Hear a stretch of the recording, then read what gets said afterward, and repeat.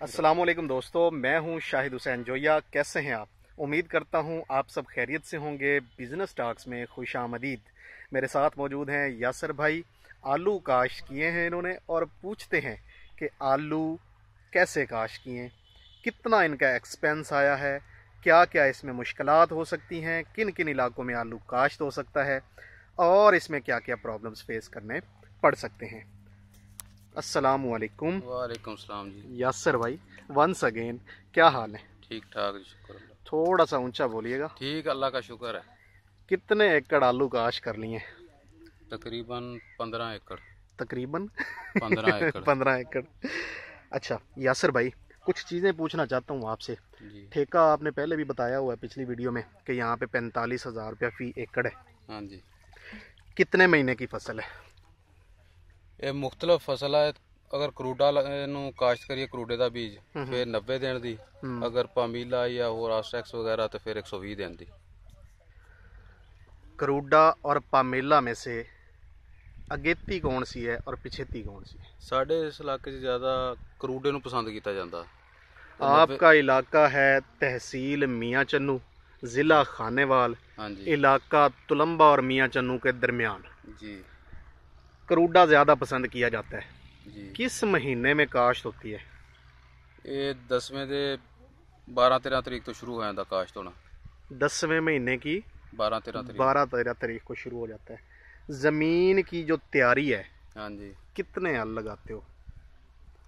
ਇਹਨੂੰ ਝੋਨੇ ਦਾ ਵੱਢ ਹੋਵੇ ਤਾਂ ਪਹਿਲੇ ਦੋ ਵਾਰੀ ਡਿਸਕਾਂ ਹੂੰ ਫੇਰ ਉਸ ਤੋਂ ਬਾਅਦ ਇੱਕ ਵਾਰੀ ਇਹਨੂੰ ਹਲ ਫੇਰ ਕੇ ਹੂੰ ਉਤੋਂ ਰੋਟਾਵੇਟਰ ਹੂੰ ਫਿਰ 4-5 ਵਾਰੀ ਇਹਨੂੰ ਹਲ ਫੇਰਨਾ ਖਰਚਾ ਕਿੰਨਾ ਆ ਜਾਂਦਾ ਹੈ?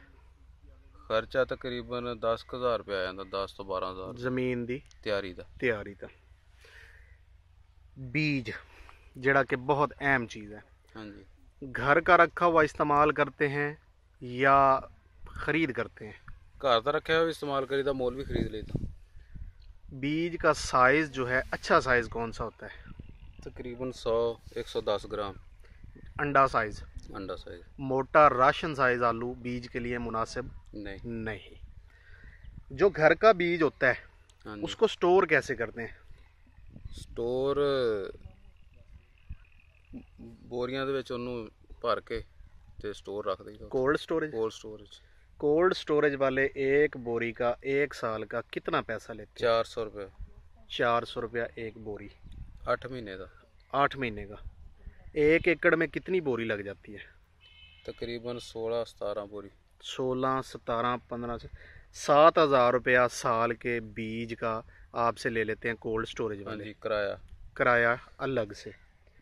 اگر بیج مارکیٹ سے لیں تو اس وقت یہ گیارہواں مہینہ ہے۔ ہاں جی۔ آلو کاشت ہو رہا ہے۔ بیج کا ریٹ کیا چل رہا ہے؟ بیج کا ریٹ چل رہا پیا اٹھارہ سو ستارہ سو۔ فی بوری۔ فی بوری جس طرح دا ہوئے گا جنویں سال چھوئے گا اس حساب نال ریٹ۔ اس حساب سے۔ چودہ سو تو لے کے 1800 تک بھی چل رہے۔ ہیں ایوریج پندرہ سو روپیہ۔ جی۔ کتنی بوری ہے ایک ایکڑ میں؟ 15 تو 16 15 ضرب 15 بائیس ہزار پانچ سو۔ بائیس ہزار پانچ سو۔ دس ہزار روپیہ زمین کی تیاری۔ ہاں جی۔ ساڑھے بائیس ہزار روپے کا بیج۔ ہاں جی۔ ساڑھے بتیس ہزار روپیہ خرچہ۔ جی۔ زمین جب تیار کرتے ہیں تو نیچے کھاد کون سی استعمال ہوتی ہے؟ D A P potash. D A پی کتنی؟ تین تو چار بوری ڈی اے پی۔ آپ نے کتنی ڈالی ہیں؟ چار بوری۔ چار بوری۔ بوری کا ریٹ ہے اس وقت ستائیس سو روپیہ۔ جی۔ ستائیس اور ستائیس چون اور چون دس ہزار آٹھ سو۔ جی۔ ساڑھے بتیس اور دس ساڑھے بیالیس ترتالیس ہزار تین سو روپیہ خرچہ ہو گیا۔ جی۔ پوٹاش کی بوری کتنے کی ہے؟ تینتیس سو روپے۔ تینتیس سو روپے کی۔ یہ ہو گیا چالیس اور تین سینتالیس ہزار روپیہ خرچہ۔ بیج جب لگاتے ہیں مزدور لگاتے ہیں کھیلیوں کے اوپر جو کاش کرتے ہیں وہ کتنے پیسے لیتے ہیں ایک ایکڑ کے؟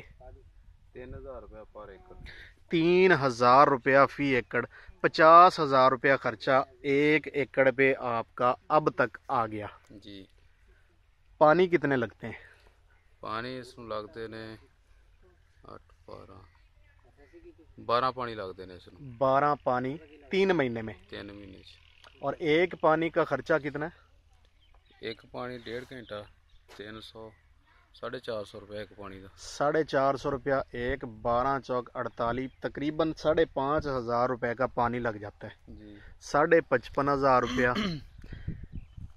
فصل کتنے دن میں آلو جو ہے وہ باہر نکل آتا ہے زمین سے؟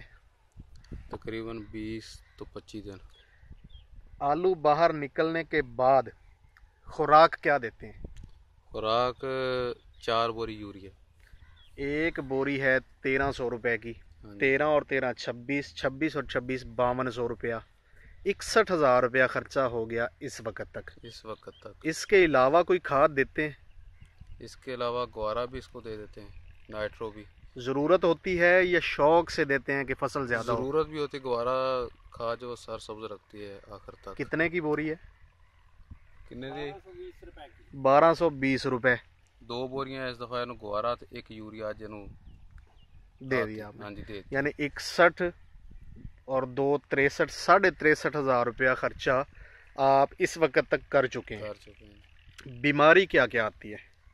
بیماری پہلے ابتدائی ਦਿਨਾਂ ਤੇ اس سفید مکھی ਮੱਖੀ ਸਬਜ਼ سفید مکھی تو کپاس پہ آتی ہے اس بھی آتی ہے اس پہ بھی آتی ہے تو اس کے لیے کیا سپرے کرتے ہیں ਉਸ ਵਾਸਤੇ ਬਾਈਫੈਂਥਰੀਨ امیڈا بیپروفیزن نہیں کرتے نہیں بیپرو نہیں کرتے امیڈا کرتے ہیں اور بائیفینترین اس کے علاوہ یہ آلو ایک فنگس آتی ہے آلو پہ چلساؤ جلساؤ جسے کہتے ہیں جی اس واسطے چلساؤ دے سپرے کر دے انٹرا کار میٹل ایکسل مینکو میٹل ایکسل پلس مینکو وہ پیلا سا پاؤڈر جو ہے جی اور کوئی بھی اس پہ بیماری آتی ہے بس یہی ہے بیج نو ایک ہوندی ہے چتری دی بیماری لگدی اس واسطے مونسرین کئی لگا رہندے کوئی نہیں لگا بیج کو لگاتے ہیں پہلے کاش کرنے سے پہلے تو پہلے ٹوٹل خرچہ سپرے کی مد میں بیماریوں کا علاج کرنے پہ آپ کا کتنا آ جاتا ہے بارہ ہزار بارہ ہزار تریسٹھ اور دو پینسٹھ اور دس پچہتر ہزار روپیہ خرچہ آپ کا یہاں تک ہوا۔ ہاں جی۔ اس کے علاوہ فصل کی تیاری پہ کوئی خرچہ ہوتا ہے؟ فصل کی اینڈ پہ خرچہ ہوتا ہے باقی۔ کس چیز کا؟ اس کا باردانہ جس میں پیک ہوتا ہے وہ میں ترتیب وائز یہ فصل آپ کی اتنے خرچے میں تیار ہو جاتی ہے۔ تیار ہو جاتی ہے۔ اچھا اب اس کو آلو کو باہر نکالنا ہے زمین سے۔ ہاں تو جی۔ مزدور کتنے پیسے لیتے ہیں؟ پانچ ہزار روپے پر ایکڑ۔ اسی ہزار روپیہ ہو گیا۔ جی۔ آلو کو بیگ کے اندر بھرنا ہے۔ تو بیگ جو ہے جس کو بوری کہتے ہیں یہ کتنی لگ جاتی ہے؟ سو بوری لگ جاتی ہے ایک ایکڑ اور یہ کتنے کی بنتی ہے؟ تقریباً سولہ ہزار روپے کی بنتی۔ ہے سولہ ہزار روپے اسی اور سولہ چھیانوے ہزار روپے آپ کا پچیس سو روپے کی لیبر۔ پچیس سو روپیہ آلو کو بوری کے اندر بھرنے کا خرچہ۔ جی۔ کل ملا کے قصہ مختصر یہ ہے کہ ایک لاکھ روپے میں ایک ایکڑ آپ کا آلو کا تیار ہوتا ہے۔ تیار ہوتا ہے۔ آؤٹ پٹ یعنی پروڈکشن کتنی آ جاتی ہے؟ پروڈکشن سو ایک سو دس بھی بوری۔ ایک سو سے ایک سو بیس بوری۔ سو کلو کی بوری۔ سو سے اوپر۔ سو سے اوپر ہوتی ہے۔ ہاں جی۔ ایوریج ایک سو دس بوری۔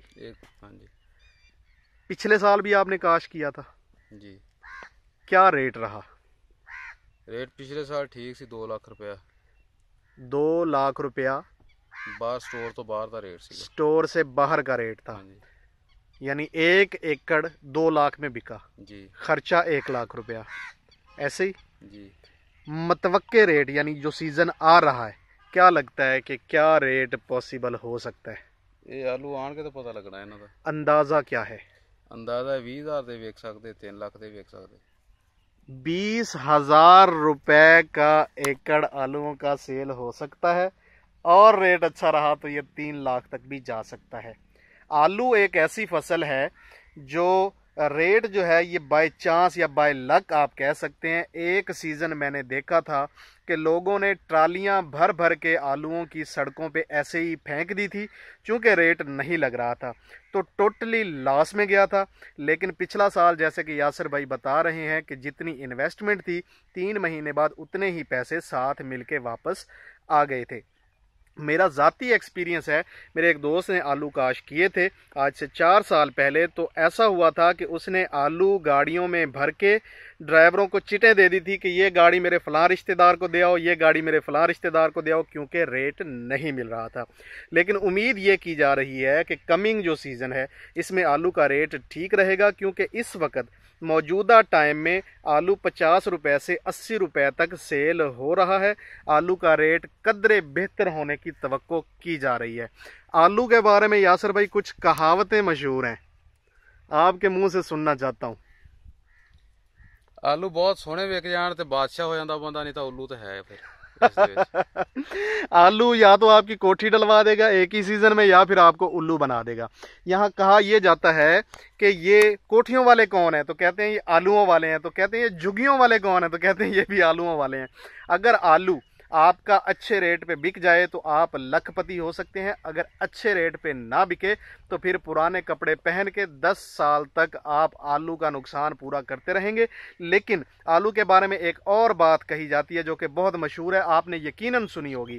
آلوؤں کا کاٹا آلو ہی پورا کر دینے یعنی آلوؤں کا جو نقصان ہوتا ہے وہ آلو ہی پورا کرتے ہیں کسی اور فصل سے آپ چاہ کر بھی آلو کا نقصان پورا نہیں کر سکتے یہ بہت زیادہ منافع دینے والی فصل ہے اور یہ بہت زیادہ نقصان دینے والی فصل ہے تو جو لوگ اس کو کرتے ہیں سمجھتے ہیں وہ حساب سے اپنے طریقے سے اس کو مینج کر کے کرتے ہیں اگر آپ لوگ یا آپ دوست کوئی آلو کاشت کرنا چاہتے ہیں یا آلو کاش کرنے کا سوچ رہے ہیں تو ضرور کسی ایکسپیرینسڈ بندے کا مشورہ لیں یا ایکسپیرینسڈ بندے کو اپنے ساتھ رکھیں یا پھر اس کی رہنمائی میں اس کی گائیڈنس کے اندر آلو کو کاش کیجیے گا۔